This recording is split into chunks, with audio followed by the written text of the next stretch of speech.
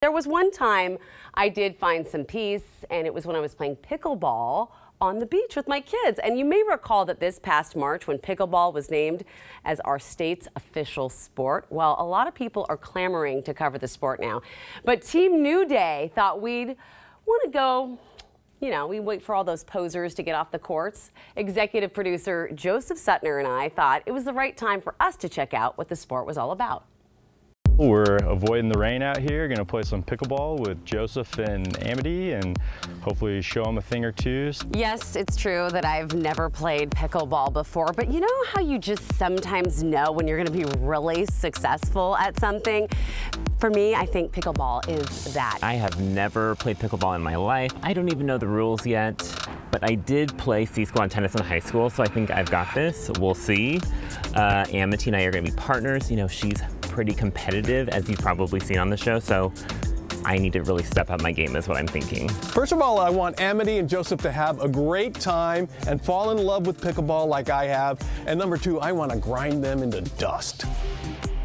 Why don't you just give us the rules, just so we know generally how it all works? The most important rule is to always let us score points. I don't think no? that's, no. no. Okay. Basically, it's just like tennis or ping pong, right? Where you're just volleying or hitting the ball over the net, and you get one bounce on your side, and then you have to return it, or you can take it out of there. As long as you keep hitting that ball over the net, the rally continues and whoever wins the rally wins the point.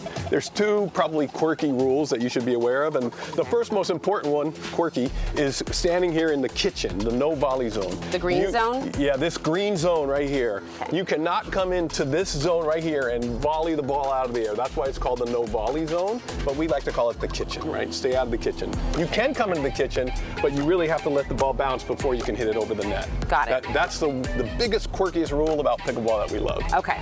The, other one is on the serve and the return. It's what we call the two bounce rule. If I serve it to you, you have to let it bounce and then return it to me or Brent.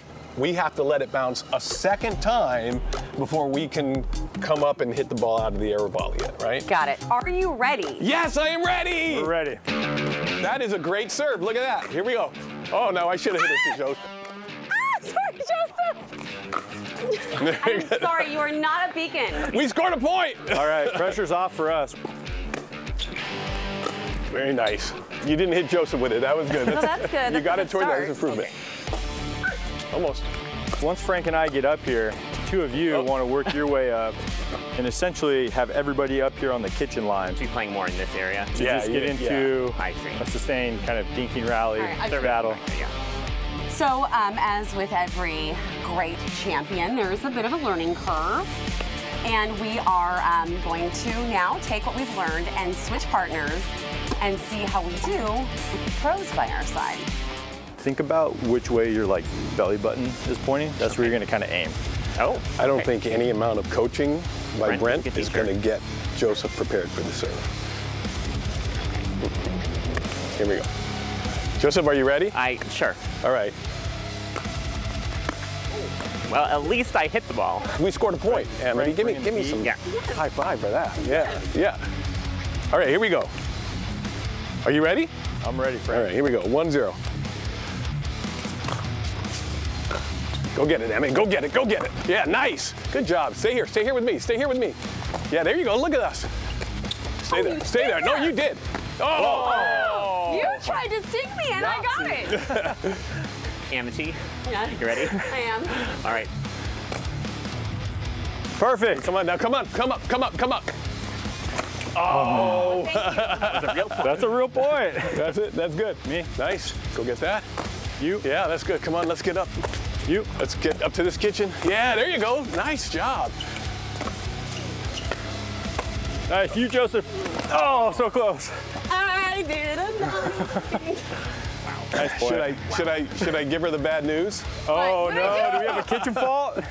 when you hit that ball out of the air, your toe was on the line, oh, and that's a kitchen fault. You hate to see it. I can't even touch the line. You can't even touch the line. So that went about as I thought it would, but um, I would say I had a lot of fun learning how to play pickleball, but I'm not going to be quitting my day job.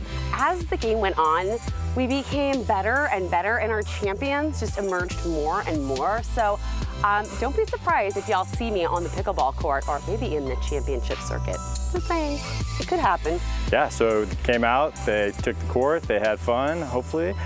I love seeing people step on the pickleball court for the first time and then how quickly they take to it and then start laughing and having a great time. And I'm glad we stopped when we did because it was just a matter of time before they started crushing us.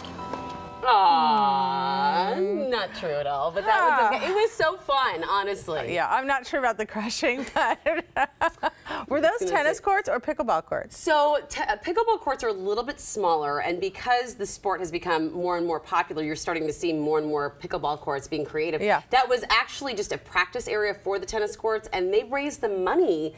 Uh, Frank and the association raised the money to Wow. make it a pickleball court because the lines are just a little bit Yeah. smaller. It's just a smaller Yeah. court, and then the, the net for pickleball is just about two inches, I think, shorter than.